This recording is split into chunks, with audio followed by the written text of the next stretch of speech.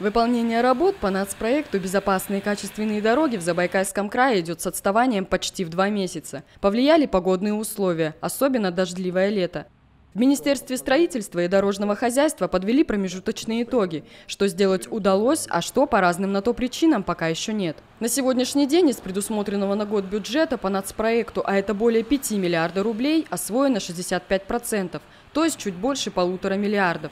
Входит в эту сумму и строительство Каштакского моста, реконструкция путепровода, а также моста в Дарасуне. В этом году у нас а, национальным проектом предусмотрено ну, два мероприятия. Да? Ну, у нас вроде до 2019 года, то есть одно мероприятие – это приведение нормативного состояния дорог по региональной сети и приведение нормативного состояния по городской агломерации. То, что касается региональной сети, у нас на этот год предусмотрено 255 километров дорог – это у нас ремонт дорог как с асфальтобетонным покрытием, так и с переходным типом покрытия, то есть щебеночное песчаное покрытие. И городская агломерация у нас в этом году предусмотрена 42 километра. Часть дорог, это больше, большая часть дорог, это, конечно, проходит по городу Чите.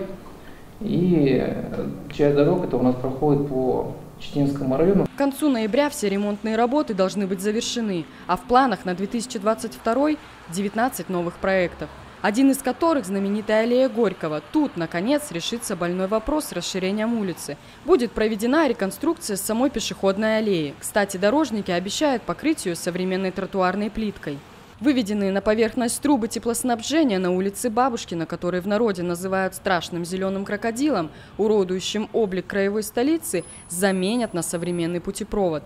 Здесь же планируется многоуровневая развязка для расширения пересечения улиц Шилова, Белика и Бабушкина не оставят без внимания и давно стоящую в режиме ожидания на ремонт улицу Новобульварную. У нас по этому проекту реконструкции улицы Новобульварная готов, э, готова ПСД, проектно-сметная документация на первый этап.